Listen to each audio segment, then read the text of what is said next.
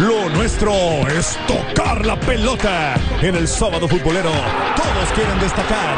Con la herida aún abierta, la pandilla buscará revancha ante los potosinos.